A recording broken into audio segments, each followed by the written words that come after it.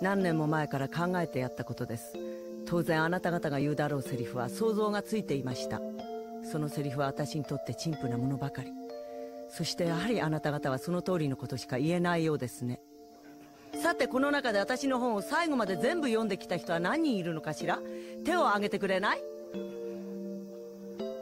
なるほど。